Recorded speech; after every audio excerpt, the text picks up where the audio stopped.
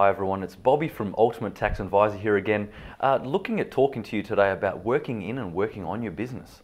Now, a lot of people remember that work-life balance is uh, an issue that people come to play when starting their own business.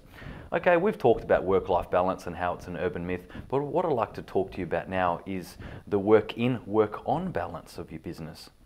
Now, working in your business, as everyone knows, is sitting behind the computer screen, meeting the customers, uh, doing the core work, and working on the business is doing your training and education seminars, networking events, and things like that.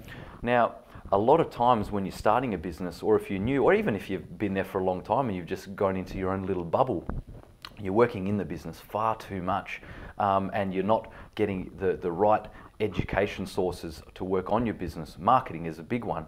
Now, for us, working on the business does take a lot of time because you really want to grow your business in work by working in the business.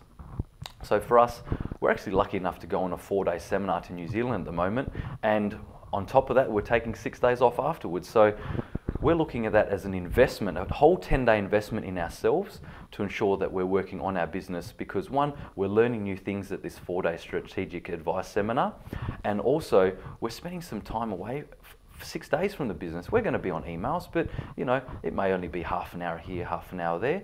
But what we really understand with that is by working on the business, people realize that, hold on, Bobby and Crystal, they work so hard are they getting rewarded? We're rewarding ourselves by going on this educational trip and by recuperating, recuperating ourselves and our energy to smash our goals in the October, November, December period to really emphasize our advice to you guys and promote our services to you in a much greater field.